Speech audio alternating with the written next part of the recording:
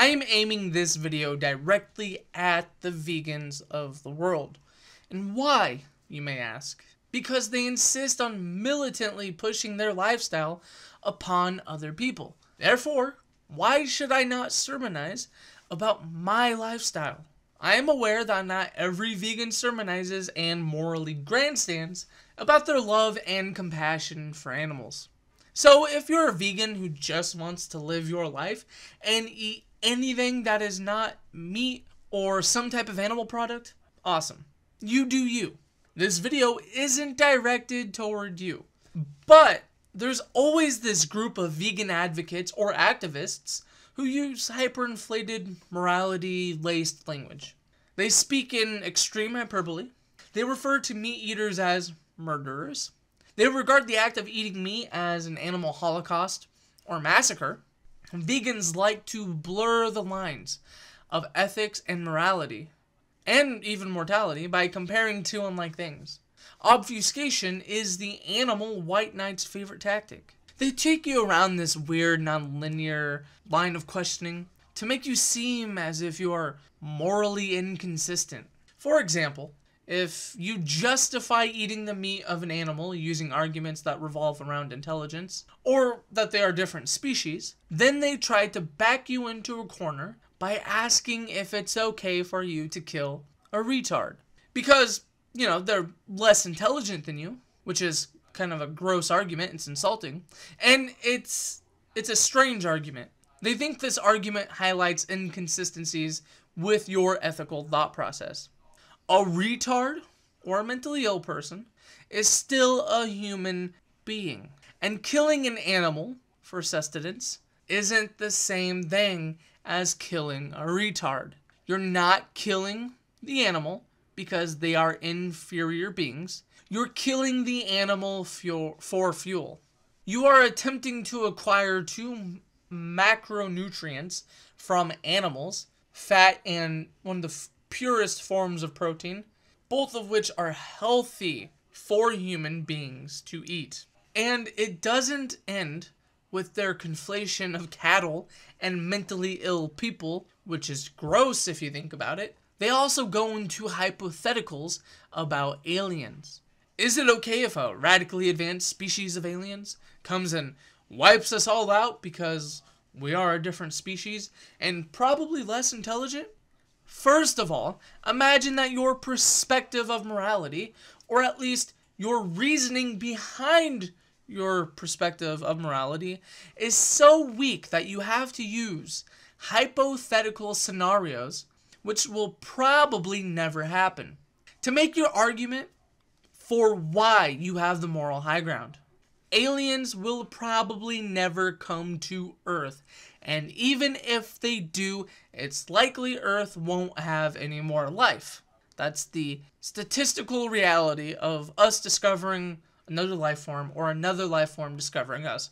But that's just a hypothetical. Really, that's all it is. But no, it wouldn't be morally acceptable for aliens to come and wipe us out. Just like it would not be morally acceptable if we went and just wiped out all the cows, pigs, and chickens.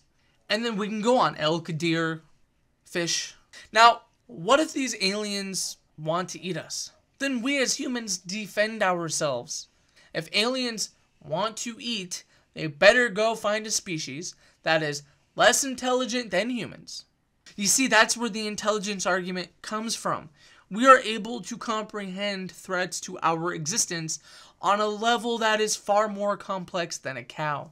Also, humans are tribal. Tribalism isn't unique to humans. We tend to work together for mutual protection. Humans generally wish to preserve the sanctity of human life because we are all humans. We are all the same species. Therefore, in the game of life, it makes sense to want to preserve a species that looks, that talks, that thinks just like you.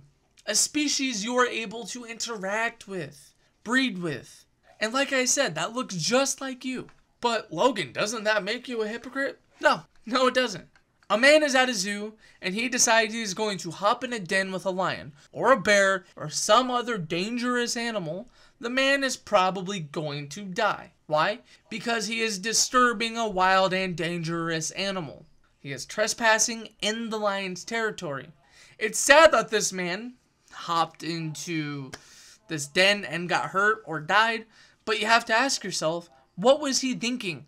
Why would that moron go in the frickin' lion's den? Or if someone is abusing a dog and the dog bites them, well, you shouldn't have harmed the dog.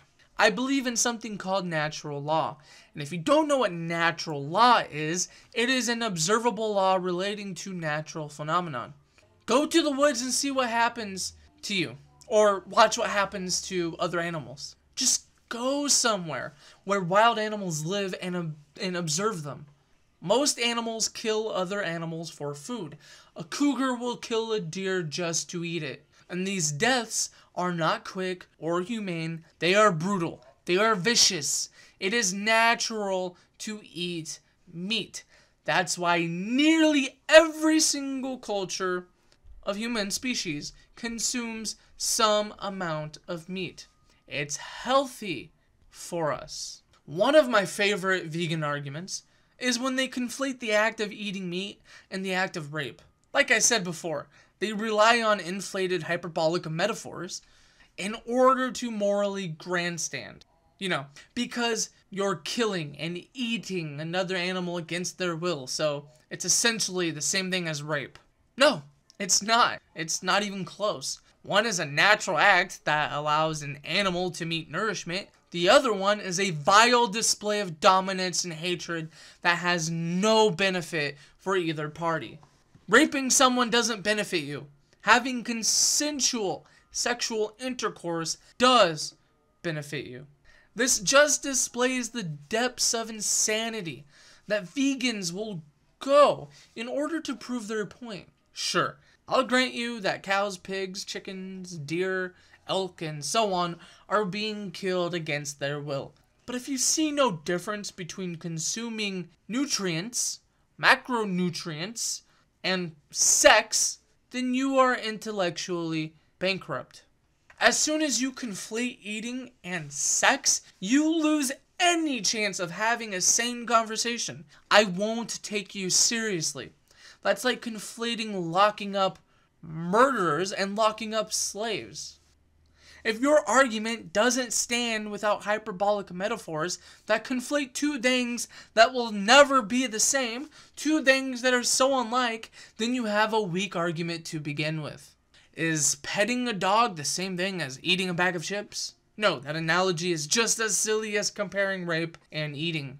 Another thing militant, virtue signaling vegans like to do is conflate the act of producing meat and holocausts. If you eat animals, you are partaking in the animal holocaust. When I hear that, it makes me think that vegans don't know what a holocaust actually is. A holocaust and a slaughter is not the same thing, although slaughters can be related related to a holocaust. But we're not wiping out animals because we hate them or deem them inferior. We're not even wiping out animals. We breed, raise, and then harvest animals for meat so we can consume two macronutrients like fat and pure protein from a dense source. The Nazis didn't breed, raise, and harvest Jewish people. They slaughtered them and exploited them for labor because they were the scapegoat of the German people at the time. They hated the Jews. We don't hate animals. We like animals. We are thankful that animals exist because they provide us with sustenance. Vegans that use these arguments are intellectually weak. A lot of them can't make sound arguments, and they must compare two things that are so different that you need to stretch the meaning of words in order to make your argument make sense. Humans are omnivores. Therefore, like all omnivores that live on planet Earth, we will continue to consume meat. Hyperbolic arguments won't change our minds. I also won't take you seriously unless you also attempt to stop wolves and bears from eating meat. Have a good day.